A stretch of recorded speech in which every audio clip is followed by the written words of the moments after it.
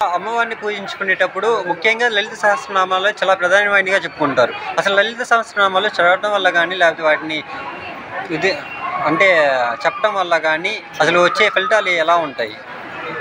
లలిత సహస్రనామం అది ఎక్కడి నుంచి వచ్చింది ప్రధానంగా అంటే భండాసురుడు అనే ఒక రాక్షసుడు. లోకములన్నీ కూడా అల్లకల్లోలం చేస్తూ ఉంటే ఆ రాక్షసుడిని సంహరించడం కోసం చదగ్నికొండ సంభూత దేవకారి సముద్రత అని చెప్పుకున్నట్టుగా అమ్మవారు సృష్టి అమ్మవారు ఎప్పుడు కూడా ఆవిర్భావం అవుతూనే ఉంటారు. ఎందుకంటే ఆవిడ జగత్తులోనే ఉన్నది జగత్ స్వరూ జగత్తు స్వరూపం కూడా ఆ తల్లే మొత్తం తానే నిండి ఉన్నది. ఎప్పుడు ఏ అవసరం ఉన్నదా? భక్తులకైనా సరే లోకంలో ఉపద్రవం వచ్చినప్పుడైనా సరే అమ్మవారు అప్పటికప్పుడు ఆవిర్భవిస్తూనే ఉంటారు. అట్లాగా ఆ భండాసురుని వధించడం కోసం అమ్మవారు లలితా సుందరిగా వచ్చారు. ఆ లలితా త్రిపుర సుందరి అమ్మవారికి దండినిగా వారాహిదేవిగా అలాగే మంత్రిని దేవిగా శ్యామలా స్వరూపములు కూడా ఉన్నాయి. ఈ లలితా సహస్రనామంలో అమ్మవారికి వైభవం అంతా కూడా ఉన్నది. అమ్మవారికి గొప్ప అనుగ్రహం అంతా ఉన్నది. ఈ భండాసుర వధ ఏ విధంగా అమ్మవారి సంహరించి చేసింది?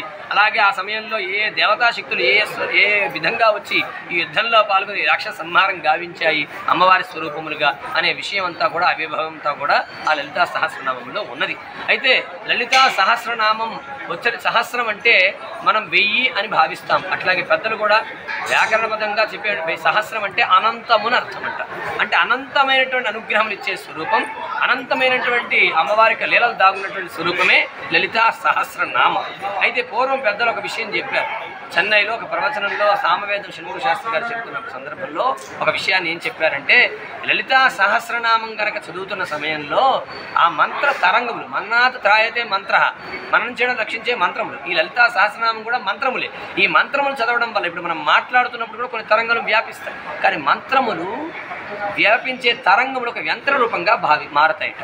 అలాగా టోనోస్కోప్ అనే ఒక పరికరం ద్వారా ఒక విదేశీయులు తెలుసుకున్న విషయం ఏంటంటే లలితా సహస్రనామం చదివితే అక్కడ ఒక శ్రీచక్రం ఏర్పడుతుంది. అంటే మనం మానవ నేత్రములకు సహజంగా కనపంచకపోయినప్పటికి కూడా మనం దాన్ని తెలుసుకోవాలంటే టోనోస్కోప్ అనే పరికరం ద్వారా తెలుసుకుంటాడు ఒక శ్రీచక్రం ఏర్పడుతుందట ఆ శ్రీచక్రానికి మూలమైన స్వరూపంగా లలితా త్రిపుర సుందరి స్వరూపం గోచరింపబడుతుందట.